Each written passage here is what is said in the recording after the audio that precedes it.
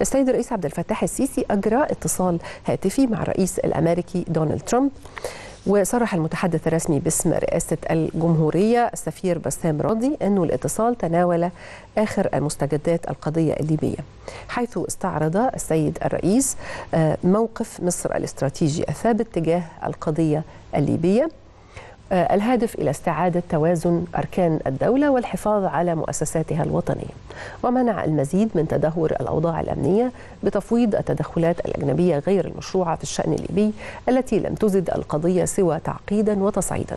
حتى باتت تداعيات الأزمة تؤثر على الأمن والاستقرار الإقليمي بأسره.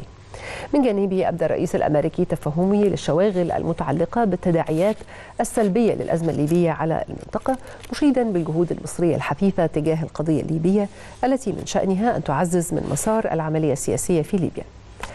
في خلال هذا الاتصال تم التوافق بين الرئيسين على تثبيت وقف إطلاق النار في ليبيا. عدم التصعيد تمهيدا للبدء في تفعيل حوار وحلول سياسية.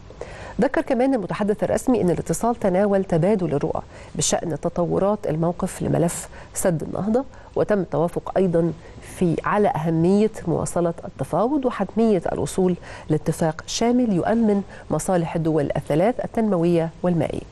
تناول الاتصال أيضا بحث بعض الموضوعات ذات الصلة بالعلاقات الثنائية الاستراتيجية بين البلدين.